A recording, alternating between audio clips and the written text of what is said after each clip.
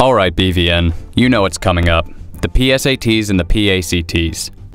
A book of practice tests for these are available in the school store in case you want to practice for the practice test. These PPSATs are very helpful, and if you're dedicated enough, you can opt into a PPP SAT that prepares you for these practice tests for the practice tests. Once the actual day comes, there are some things you need to know to be prepared, the first being the many rules put in place to ensure a level playing field for the students. The first being that if anybody's phone makes a peep, even in their bag, it was all for nothing and the scores are discarded. When setting your alarms to go off during the PSAT, keep in mind that your phone will be in your bag in a corner of the room, so keep that volume up.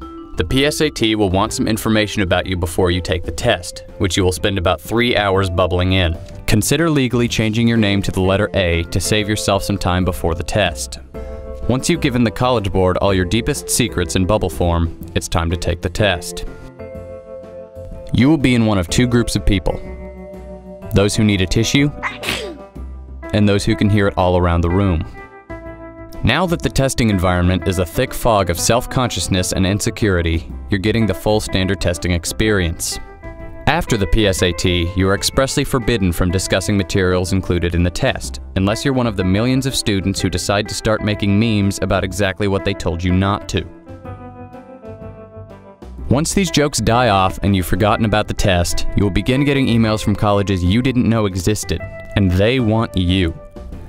At some point later, when all of these tests have been graded, the scores become available online and you can check them in a few days after they get their website back up. Good luck.